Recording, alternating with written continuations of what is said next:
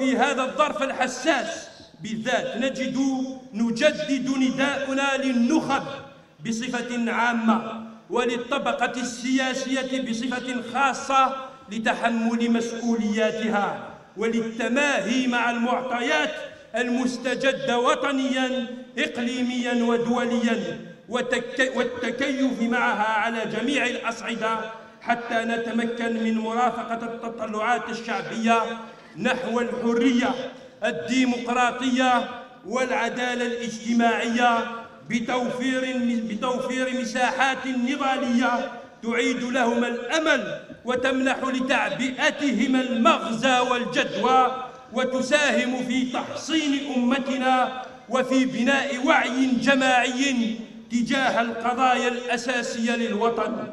وفي ذات السياق ونحن نعيش هذه الأوضاع المتسمة بغياب الأفق. علينا أن نعي جميعاً أن أي انسحاب وأي عزوف أي كانت أشكاله لن يزيد من الأمر إلا سوءا وتأزما. ويوما بعد يوم تب ويوما بعد يوم تبرز ضرورة الانخراط السياسي تبرز ضرورة الانتظام تبرز ضرورة تقديم التنازلات تبرز ضرورة بناء التوافقات حول المسائل الجوهرية والمسيرية التي لها صلة بحاضر ومستقبل الأمة.